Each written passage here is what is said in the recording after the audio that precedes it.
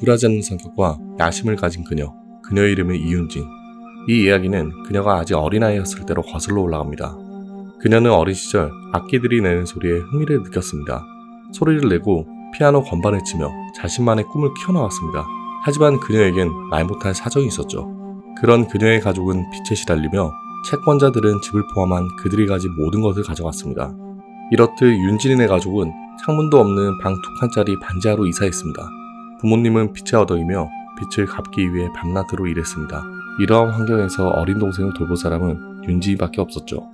이런 열악한 환경에서도 윤진이는 꿈을 포기하지 않았습니다.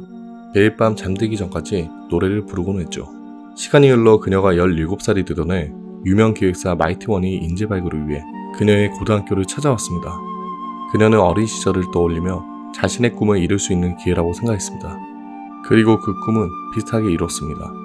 사실 그녀는 아이돌 연습생이 되고 싶었지만 그와 비슷한 꿈인 무급 인턴 프로듀서가 됐습니다.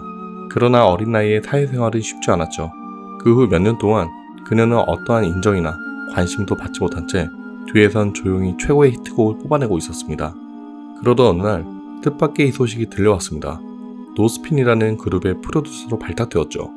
이러한 상황은 좋지만은 않았습니다. 그녀는 멤버들을 마주하였는데 그들은 전혀 준비가 되지 않아 이들을 데리고 돈 벌기는 힘들 거라고 생각했습니다. 그런 그녀는 새로운 인재가 필요하다고 판단하였습니다. 그리고 회사와 계약되어 있던 오디션을 통해 새로운 멤버를 마주합니다. 그의 이름은 학지훈. 처음부터 알 수 없는 듯한 묘한 기류가 흘렀는데 그녀는 지훈이가 다른 멤버에 비해 아이돌로서 재능이 있다고 확신했습니다. 그 후 얼마 지나지 않아 노스펜의 인기는 날로 치솟았습니다.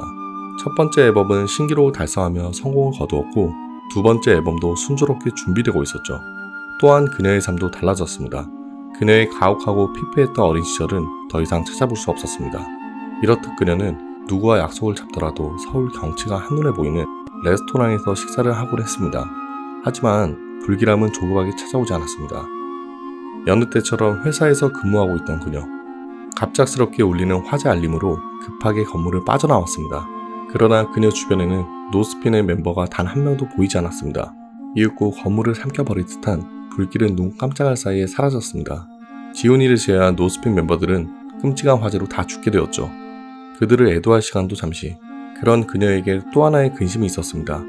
그룹이 망했기 때문에 자신의 위치도 위험하다는 것.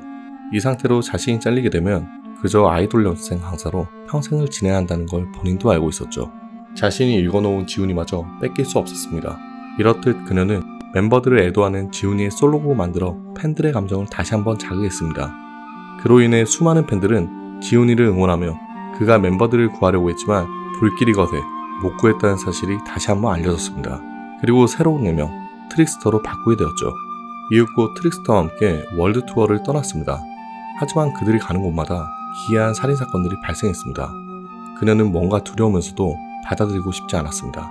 하필이면 그들의 투어 날짜와 살인 사건 날이 동일한 것이었죠.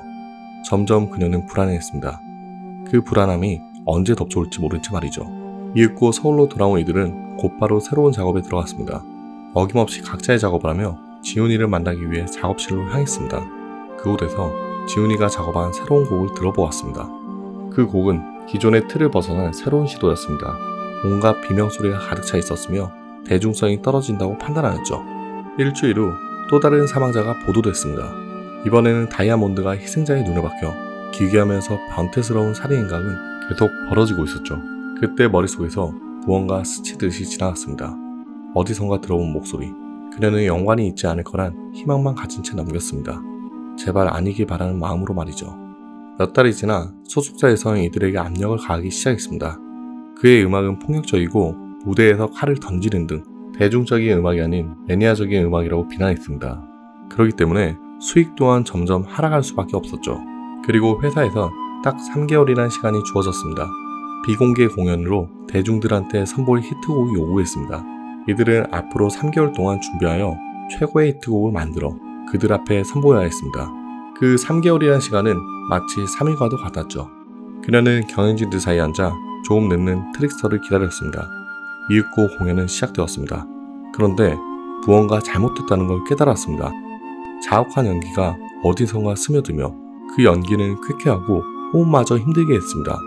숨을 헐떡이며 기침을 할수록 더 많은 연기를 들이켜 폐를 찌를 듯한 고통을 느꼈습니다. 주변은 아수라장이 되었고 그들 중 일부는 피를 토하며 사랑하는 사람의 이름을 부르고 있었죠. 그런데 자학화 연기 사이에서 무언가 우아한 자태로 뛰어다니고 있었습니다. 그의 정체는 바로 Trickster. 그는 사람들을 칼로 찌르고 팔다리를 자르며 공연에 심취한 듯 자신만의 무대를 이어나갔습니다. 그를 본 윤진은 모든 것이 떠오르며 그녀가 그동안 부정한 사실이 모두 진실이었다는 것을 깨달았습니다. NO SPIN의 화재부터 투어에 맞춰 발생한 기괴한 살인사건들, 그가 언제나 중심에 있었죠. 사실 그녀는 처음부터 직감했습니다.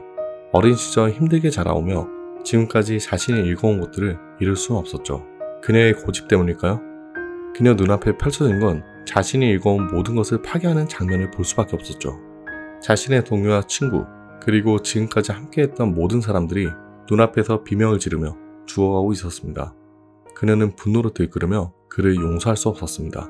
그 분노는 트릭스터를 향했지만 이윽고 검은 안개가 그녀를 휘감고 안개가 걷혔을 때 이미 그녀는 다른 곳에 와 있었습니다.